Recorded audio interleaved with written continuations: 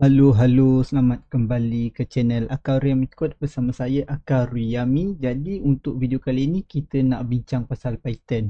Dah lama kita tak bincang pasal Python kan.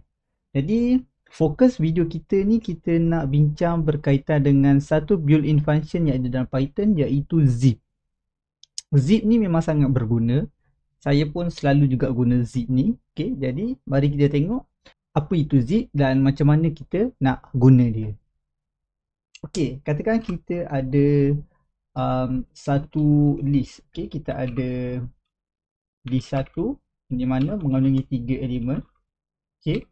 Dan kita ada list dua juga mengandungi tiga elemen.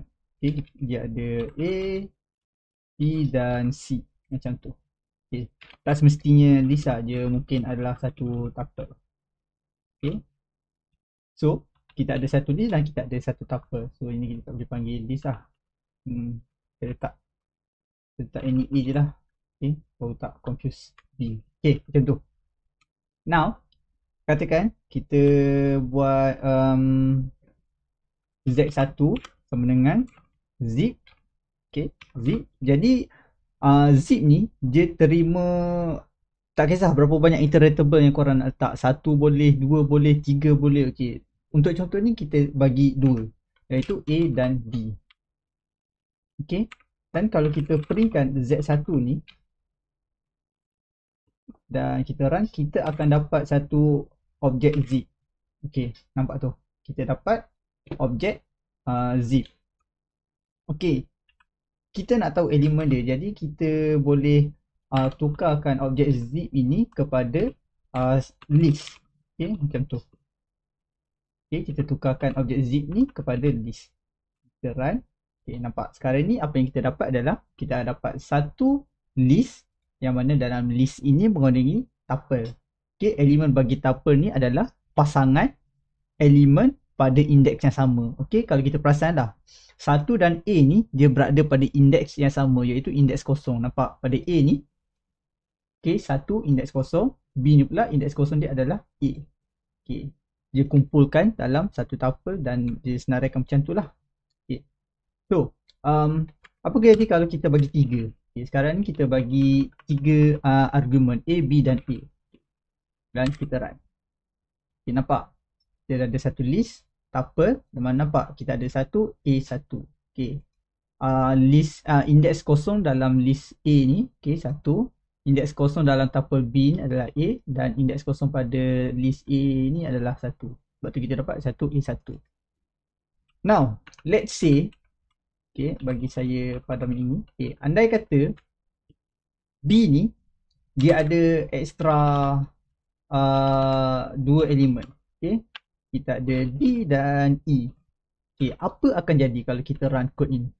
Okay, adakah dia akan crash ataupun dia boleh run? Okay. So kita Okay nampaknya dia boleh run.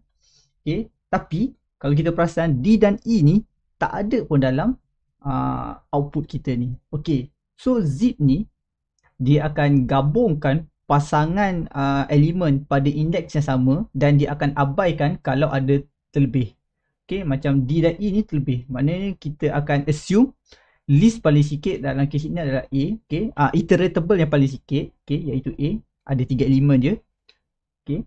Maknanya antara A dengan B ni dia akan output satu list yang ada tiga elemen. Katakan kita ada hmm, satu lagi um, kita buat string pula ni. Um, X, uh, W, X, Y, Z. Okay. String ada empat karakter. Okay. Kita bagi pada zip ni. Okay. Apa akan jadi? Cuba cuba teka lah apa akan jadi. So, kita run. Now kita dapat satu list yang mengandungi tiga elemen. Okay. Satu AW, dua BX dan tiga CY. Okay. Um, kita buat ni jadi empat pula. Okay. Um, saya harap pada setakat ni korang dah faham lah apa zip ni buat. Okay. Dia akan ambil elemen pada indeks yang sama dan dia akan kumpulkan. Nampak? Indeks kosong, satu AW, indeks satu, dua BX, indeks 3 eh, indeks 2 3 CY okey nampak ni. Satu EW 2 BX 3 CY okey now katakan okay, bagi saya padam ni dulu okay, katakan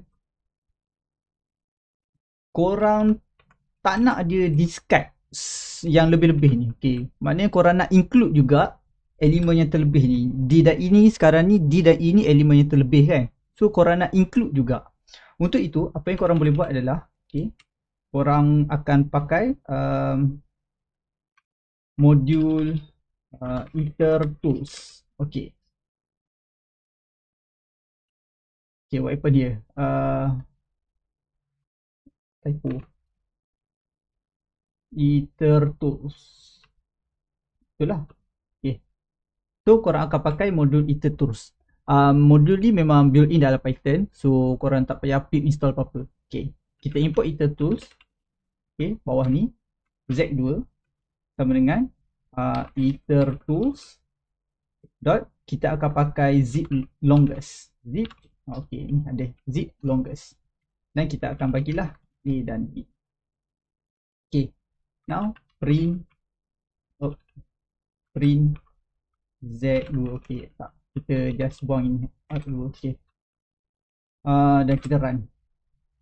Oh, kita dapat uh, zip longest object. So kita nak kena tukarkan dia kepada list macam yang kita buat dekat atas tu. Oh, lebih set. Okay. Uh, save dan run. Okay, sekarang ni kalau kita tengok kita ada satu list yang mengandungi lima tuple. Okay, satu A, okay, seperti kita expect, dua B, tiga C dan kita ada none D dengan none E. Okay, zip longest ni dia ada satu um, optional parameter iaitu uh, kalau kita tengok kat atas ni kan, kita ada field value. So, fill value katakan fill value ni kita kata hmm, maybe kita nak pakai boolean true okay. save dan run okay, nampak? So katakan ada list yang tidak cukup elemen dia. Maknanya dia sikit. Dan dia akan letak default kepada true lah fill value ni. Nampak? True. Kalau kita tukar benda ni ke something else hmm, uh, saya hilang. Okay. why not? Dan kita run. Nampak? Okay. Setakat ni mungkin korang perasan. Katakan kalau kita tukar posisi sekarang kita bagi A dulu baru B kan. So kita bagi B dulu baru A. Okay. Okay. Right. Saya hilang ni berada di belakang. Okay. Maknanya um, iteratable yang mana korang bagi dulu akan menentukan uh, kedudukan dia dalam tuple ni. Okay. So kalau korang letak A dulu elemen A ni akan muncul dulu dalam tuple ni. Kalau korang letak B dulu dalam kes ni, okay. Elemen B ni akan muncul terlebih dahulu dalam tuple ni. Okay. Uh, ini adalah uh, zip. Okay. Um, so sebelum saya tamatkan video saya, saya nak share kat korang satu trick yang korang boleh guna untuk zip ni. Okay. Katakan korang ada satu matrix ataupun 2D array atau 2D list. Okay. Contoh ni kita ambil yang, yang ketiga ni. So kita ada uh, dua dimension uh, list ataupun satu matrix. 1, 2, 3, 4, 5, 6. Dan korang nak transposekan matrix ini menjadi 1, 3, 5, 2, 4, 6 macam ni. Okay, apa itu transpose?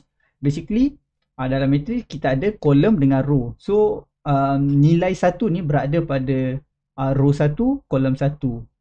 Uh, nilai 2 ni berada pada uh, row 1, kolom 2. Maknanya 1, 2 lah transpose ni dia tukarkan posisi kolom dengan row tu. Okay.